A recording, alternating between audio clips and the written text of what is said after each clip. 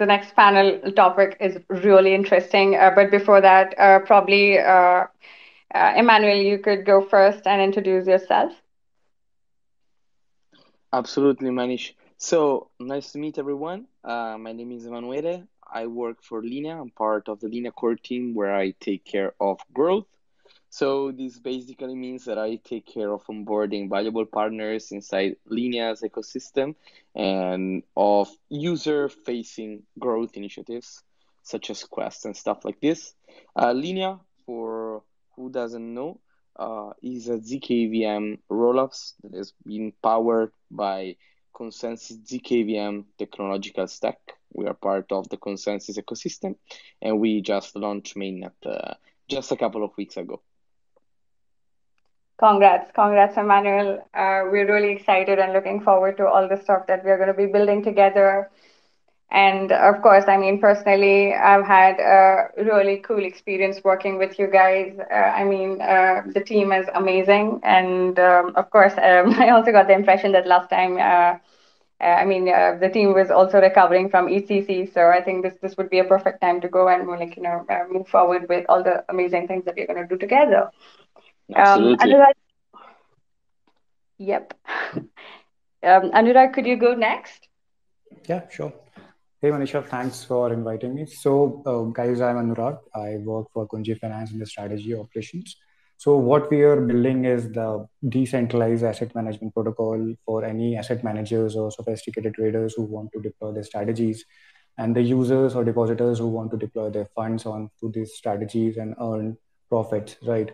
So we came up this idea after what happened with like crypto hedge funds who lost their money in the FTX fiasco. Even if they're profitable, they were have to like they have to shut down their operations because they were exposed to centralized risk. So that's what uh, motivated us to build something uh, uh, in a decentralized manner, like asset management services. And and we have integrated major uh, perpetual protocols like GMX and and MUX protocols and spot uh, dexes like uh, Uniswap and other protocols are also on the pipeline, and we will soon be releasing a beta version of, of the of our platform. And the, the recent milestone which we had was like 25k early adopters were interested in our platform. So yeah, I'll be very quick because I have a meeting to catch up in 15 minutes. Okay. No worries. Uh, Steve, uh, would you like to go next? Yeah. Hey, thanks for the uh, introduction here. Um, I'm Steve. I work over at PWN DAO as a business development manager. Uh, what we do is we're a peer-to-peer fully. I sort of lost you there, Steve. Hey, yeah. Do I sound okay now? Yeah. Sorry, I'm on my laptop and it's my first time doing a space here, so yeah. figured there might be a glitch or two. No uh, but yeah, just giving a quick quick intro to PWN there. Uh, peer-to-peer lending and borrowing, Oracle free, totally decentralized. Uh, just released uh, exciting feature regarding collection offers. So uh, happy to be here on the Twitter Spaces uh, talking about the future of DeFi here. Uh, I was very intrigued by the topic as well. Uh, also, quick shout out to Taylor. Uh, just noticed now that we actually met at ETH Prague a couple months back. So didn't even realize he was on the panel until just now. So I'll let him take over as the last intro, I think. Taylor, yes, of course. Hey, how's it going?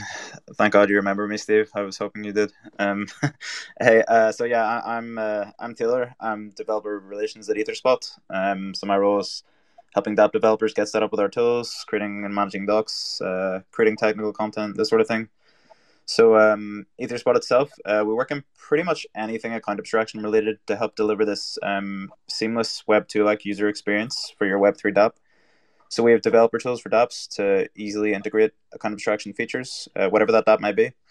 And we help out EVM based networks get set up um, in the entirety of all the infrastructure that they need to get set up with using account abstraction. So it's pretty much top to bottom. Um, any part of account abstraction, we can help with all of it as we're uh, sort of veterans in this space.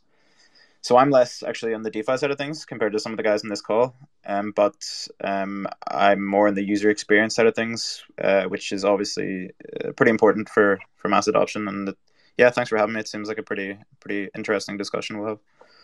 Absolutely, absolutely. I mean, I'm really excited about this uh, topic in general. I mean, there's so much going on. We had PayPal release a stablecoin, and there was, there was a Curve, the, the stuff that happened with Curve. So, of course, I mean, there's so much uh, that's going on. Uh, so, probably, Emmanuel, could you shed some light on what are your thoughts on DeFi, and are we are we even ready for mass adoption at this point?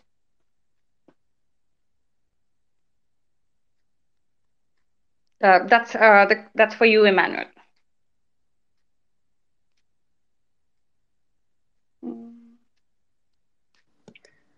Maybe maybe uh, Taylor could go. Yeah, yeah. Sorry, I, I can kick it off um, if Emmanuel's okay. Yeah. Um, so yeah, like I said. Yeah. Oh, sorry, sorry. You want to Sorry, Manisha. Was a Taylor. Sorry, didn't mean to interrupt. I don't know, but I'm not hearing Manisha anymore. I don't know if it's something wrong with me or if you guys can not hear me well. So you you confirm you can hear me? I'm I'm able to hear you, Emmanuel. Uh, were you guys able to hear me? Right, let me try to to go out and and re come back because I cannot hear you guys. You can start off, Taylor, and sorry for interrupting. No worries, no worries. Waiting for you. Uh, cool. I think uh, Taylor, you could uh, take the take this forward. Yeah, yeah, sure, sure, sure. That's cool. Um, so yeah, like I said, I'm not as deep in the the DeFi ecosystem as some of the people in this call. Um, but currently, um, I think we are getting close to be ready for the mass adoption side of things, uh, at least from user experience side of things. Um, and I think that because we have these tools available through account abstraction SDKs like Etherspots um, to create these like very fantastic uh, user flows on pretty much any DeFi app on any EVM based network. Um, now this is very important for mass adoption because we want uh, normal like normies, normal people to be able to use these uh, these amazing DeFi platforms with without having much blockchain knowledge, and we want them to also to feel secure using it. If they're going to put money into this platform, we want them to feel like you know like they're not going to get scammed or something, or like lose their their funds somehow. So with the current state, um, the current meta of using an EOA or a key-based wallet like MetaMask, it's it's pretty daunting for a new user who isn't uh, who isn't very tech friendly to like save this 12 word key and if they lose it um, they're screwed pretty much uh, so with AI features we can onboard them and we can create a wallet for example through their email and we can provide some of these great recovery and security mechanisms that they will be used to using, you know, on some uh, centralized um, software, so that they'll feel really, really secure, um, depositing funds and trading and doing whatever in some DeFi platform. Um, now, personally, uh, I don't, I don't think enough DeFi platforms have implemented enough smart wallet usage yet. I think a lot of them that we've talked about um, realize the importance of this going forward for mass adoption, but it's not really a priority for them. Um, I guess that's because they, they you know, they're a DeFi platform. They're building some other very cool feature. Um, so yeah, I kind of I kind of wanted to ask this question to the DeFi platform people on this call. Um, is this something in your guys like roadmaps to improve the user experience? Um, or what's your what's your stance on this currently? Because it's probably eh, one of the biggest factors in you know getting like this sort of mass adoption as everyone talks about. Absolutely. Um, Anurag, would you like to take that out? Yeah, sure. I mean, the mass adoption comes gradually. I mean, it's not a, uh, it's not a, something like which comes at a pivot point. So, any emerging technologies uh, t- uh, takes a few certain market cycle for a mass adoption, and then it often uh, increases with the with the betterment in the user accessibility and the user experiences. So, I don't know, you guys have used Ether Delta in the early days. Uh, the UI of that Ether Delta was was very complex, was very nerdy. But now you can simply swap your assets uh, with a single click. So obviously, uh, if, we, if we want an average Joe to use a DeFi platform, we have to work on those UI thing or uh, make it more user friendly and make it more uh, secure because not an average Joe can can secure the wallets or, or, or assets, right? And and, and also uh, what I believe is that like uh, if if we talk about internet, like it took it took like I think one or two decades for, for a mass adoption. Earlier, we used to access website using IP addresses, but gradually now we can access it using domain name. So in the same way, the addresses in, in, in the blockchain is being replaced by ENS domains, right? So in this way, uh, we can eventually effectively uh, lead to a mass adoption. And, and if we talk about the TVL, TVL of a DeFi, right, it has grown significantly in the last four years. So we are still at the beginning of of a market cycle and and to uh, gradually after like two or three market cycle we can see an average joe using a defi platform on the mobile apps this is what i i think Right, right. Um, in terms of adoption, I think uh, Linea has uh, made uh, all the right strides uh, recently, like since the one month that they've launched.